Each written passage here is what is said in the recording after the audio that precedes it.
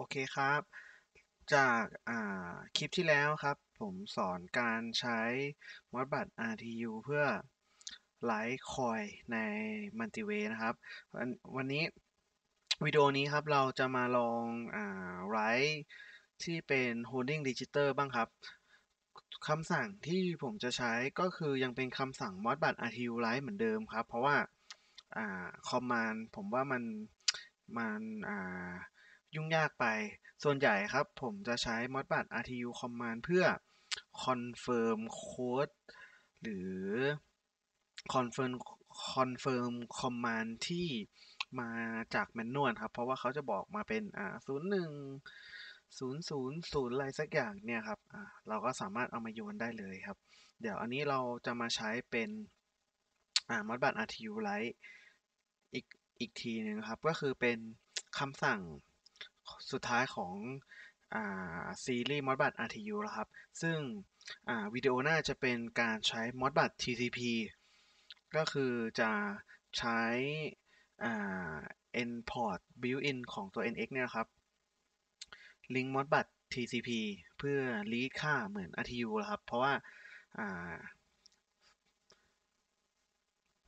เดี๋ยวเรามาลองดูครับ sw4 อันนี้ก็คือ switch insert function ค่ะ nx modbus rtu write fb 0 0 4อะ device port ใช้ port เดิมครับ เหมือนเดิมครับ ซีรีส์นี้ port แล้วก็ unit number ก็เหมือนเดิมครับ อ่าอันนี้ write command มันมีอยู่แล้วใช่ไหมครับ อันนี้เราจะเป็น holding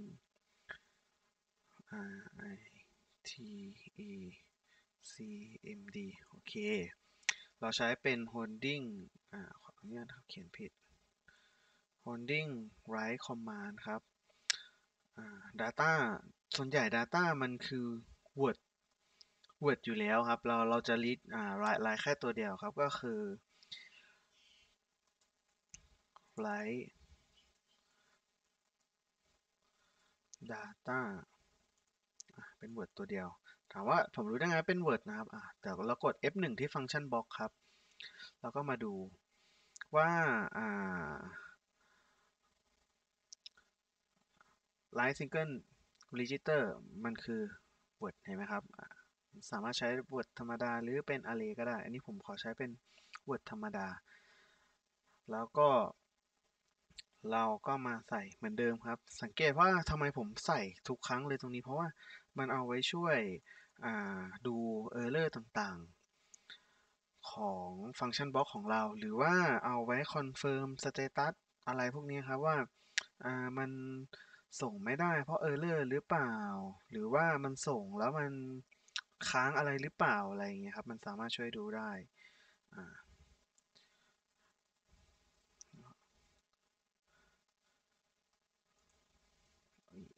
เค แล้วก็ออนไลน์ครับอ่าลืมเพราะว่าอันนี้เราเขียนอ่าฟังก์ชันบล็อกเสร็จแล้วครับ เราต้องไป setting command ก่อน เหมือนเดิมครับ เหมือนทุกๆคำสั่งครับ เราใช้เป็น holding command dot function ก็คือใช้เท่ากับ underscore mdb อ่า light single register เค แล้วก็เหมือนเดิมครับ holding dot อ่าขอโทษครับ address เท่ากับอ่า uint ไม่ใช่ uint sharp 1แล้วก็ holding เหมือนเดิม holding แล้วก็ขนาดก็ u in 1เหมือนกัน โอเค ฟังก์ชัน โอเค เออเลยหายแล้วครับ แล้วก็ออนไลน์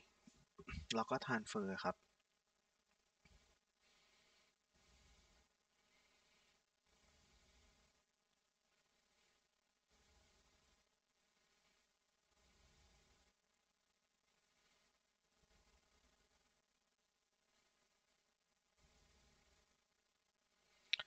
refer to controller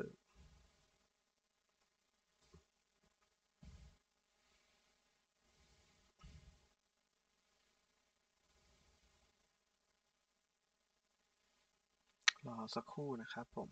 โอเค อ่า เสร็จแล้วเดี๋ยวเรามาลองกันครับ เราใช้ อ่า เป็นฟังก์ชัน register ใช่ไหมครับ เราก็กดที่ อ่า multiway ให้เป็น register ครับ ปึ๊บ ขอเคลียร์ก่อนปึ๊บอ่าโอเค ค่าที่เรา ในในตัวอ่าตีซะว่ามันเป็นอุปกรณ์ครับ ก็คือเป็นค่าศูนย์อยู่ เราจะดูว่า command ที่เราส่งออกมาจริงหรือเปล่าครับ โอเค แล้วผมก็ใส่ค่าไปว่า FFF ก็คือค่าสูงสุดของ1 word ที่มันจะส่งได้นะครับ เดี๋ยวเราลองดูนะครับ on ปึ๊บอ่า ค่อนข้างไวเห็นไหมครับ ค่า FFF ก็มาแล้ว เราจะเปลี่ยนเป็นอะไรก็ตามครับ มันเรามันก็เราก็กดส่ง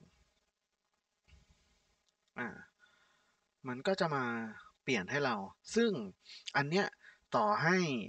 ต่อให้เป็นอ่า user ที่อ่าไม่มีความรู้เรื่องอ่าโค้ดของ Modbus อ่าอาจจะไม่รู้ว่า อ่า Light Register ต้องใช้ฟังก์ชันโค้ดอะไร แล้วก็ CRC อะไรเป็นแบบไหน อ่า ตัว NX ตัวนี้ครับ มันจะจัดการให้หมดเลยครับ เราแค่ระบุ ทุกอย่างให้มันที่ที่มันต้องการให้ให้ให้มันนะครับ อ่า ซึ่งเขาก็อ่า convert มาเป็น อ่า เหมือนภาษาที่เราเข้าใจว่าปกติอันเนี้ยมันจะเป็นฟังก์ชัน 06 ซึ่งอ่า ถ้า ถ้าเราแบบ อ่า เป็นเหมือน user ใหม่ ๆ อะไรเงี้ยครับ อาจจะงงว่าฟังก์ชัน 06 คืออะไรเนี่ยแต่ถ้าแบบเอามองเป็นตัวอักษร ก็คือ Light Single Register เนี้ยมัน มันก็จะเหมือน อ่า ฟ ฟังดูแล้วมันจะใช้ง่ายกว่านะครับ โอเค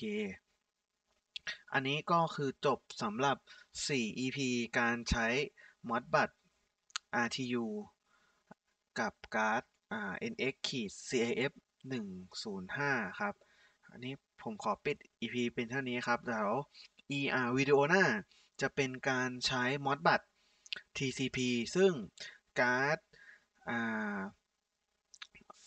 CAF 105เนี้ยจะไม่ได้ใช้แล้วครับ ก็คือจะใช้เป็นพอร์ต built-in ของ NX